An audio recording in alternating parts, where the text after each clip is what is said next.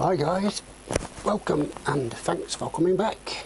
Uh, this video I'm going to be, well not really stripping down, just opening up these carburetors which are off of a ZX600 or Ninja I believe.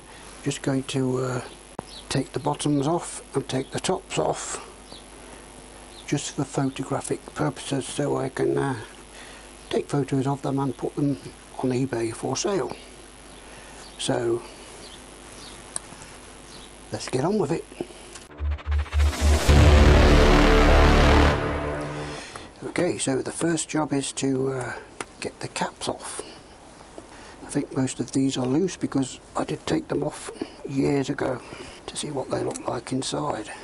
So just undo the screws. You will find a spring inside like so put your screws back in the cap. Take your spring out but be careful because inside there. This one has got like a plunger to hold it in but you have got the, like the long needle which can fall out and there can be spacer washers on there and all sorts of things what can mess you up if you don't take them out in order these should just lift out like so. There is the needle. Pretty corroded.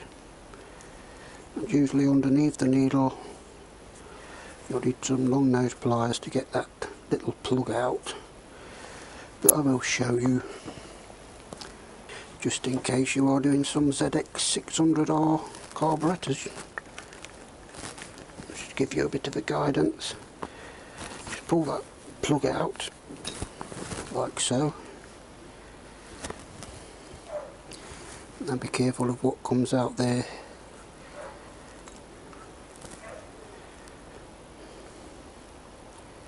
Make sure there's no more washers or anything inside. There it just has a little spring on the top and a little plastic collar. Sometimes they do have shim washers underneath to raise it up or lower it down. So be careful if they just drop out and you won't know where they went. So just stick that back in. Can be a bit difficult to stick back in because it's hard to find the hole. There we are there's that one. Stick your cap back in.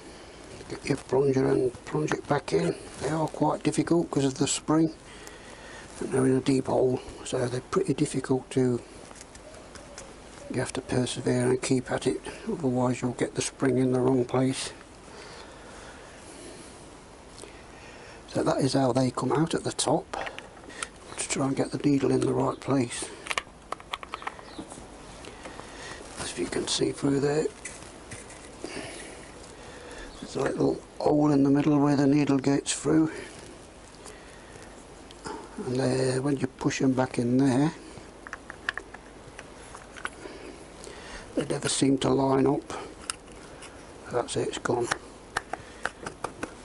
So that's the tops of the carburetors.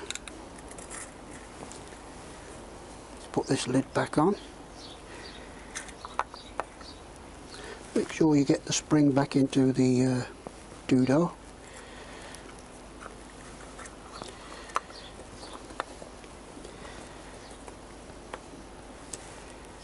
there is also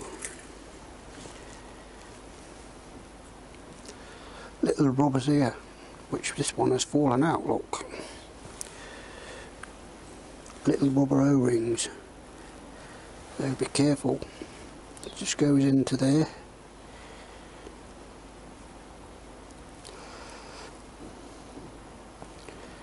Put that back in the little slot.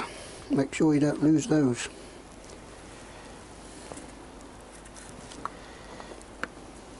job I rechecked it wasn't it? Just put the screws back in for now.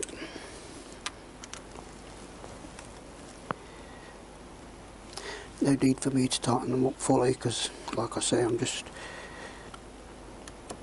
taking all these parts off to take photos.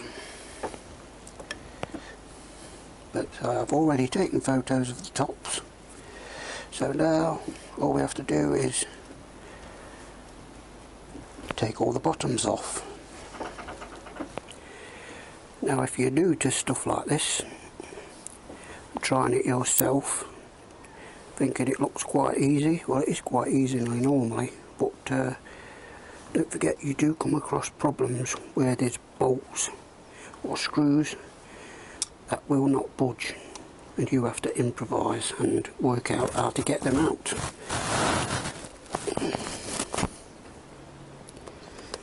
So let's undo all the screws. Luckily these are cracking quite easily. So that's one. I'll put my screws back in the bowl so I don't lose them. Oh, look a bit manky don't they? Do look a bit manky. Yep. Oh yes.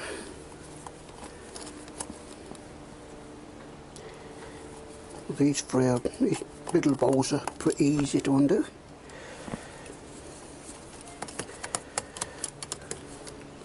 Let's hope we can carry on as we mean to carry on.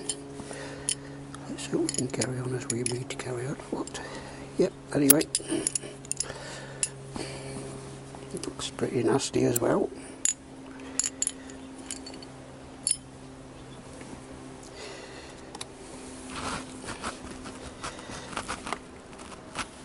No, that one's not going to budge. Nor is that one. Oh, that one's going. About this side. Nope, they're not going to go. They're not going to go, so... Uh, So yeah, let's go and uh, find the impact driver and try with the impact driver. I'll turn you off while I go and look for it. Okay, so these two have come off easy enough, but the outside two are jammed solid. So let's try the impact driver. Has that done it?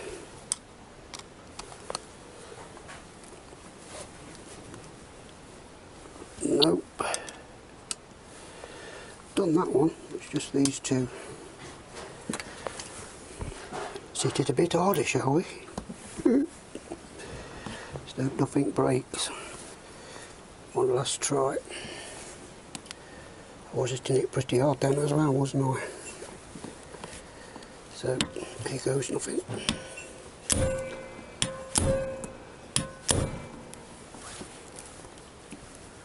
Oh, I think it's gone. Yes, that's two. I've just got to try and get this one. Thank you. Alright.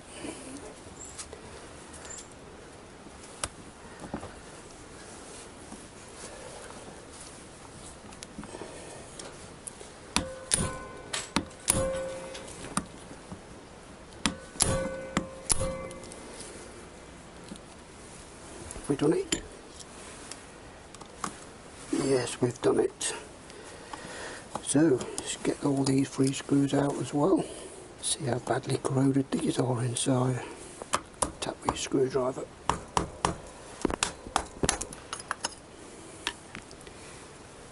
Get the stage of them. So it's just this one now. Which also has stubborn screws. Got that one. We haven't got that one, and we haven't got that one. Let's try and do these two.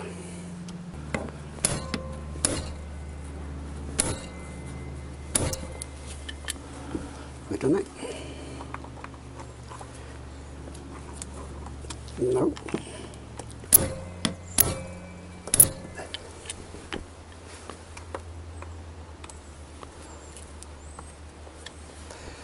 That one's proving pretty difficult. Let's try this one.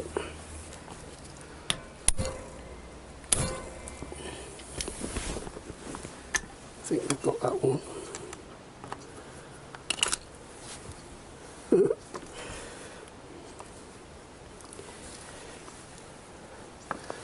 no, we haven't got that one. And we haven't got that one either. So, looks like a cut and grooves, don't it? The heads are up. One last try.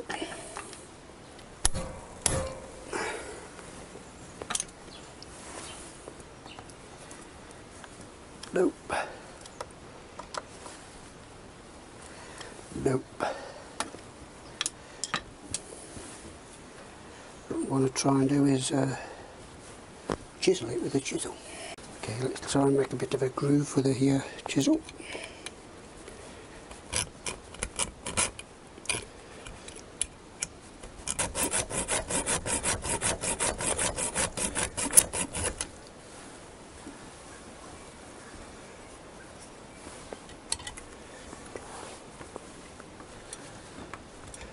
The groover, make the groover. Let's make the groove a bit wider with the bigger saw.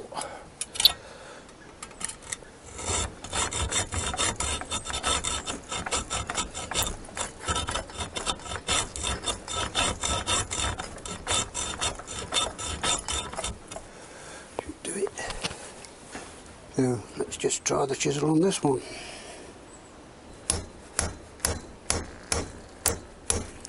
Not that you can see anything happening, but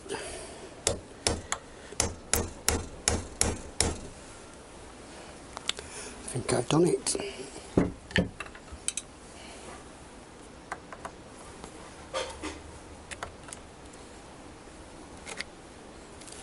I I'd done it. Something moved. Yes, I have done it. Cool. That's that one. Just this one at the back now.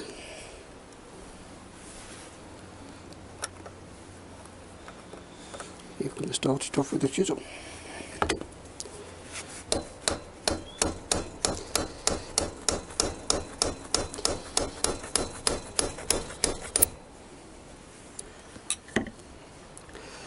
Think it's gone, but no, it's definitely not gone.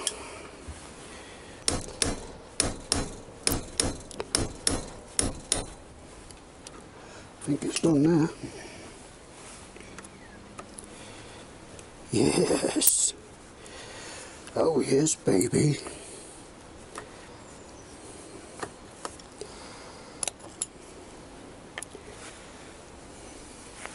This last one.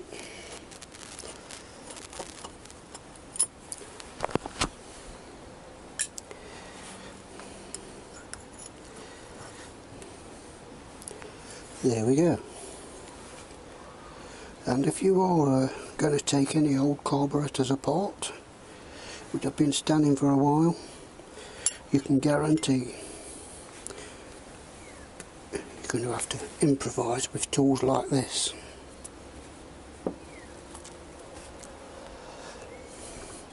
So that's all the bottoms off. We're going to get some photos of that for eBay. And I'll be back in a bit. Okay, so we're back. That's all the photos taken. Sorry about the uh, condition of my backyard, but I am in process of putting another shed in. I've only got one, two, three, I think I could do with four. I could do with seven. So, all buttoned back up. All the photos are taken.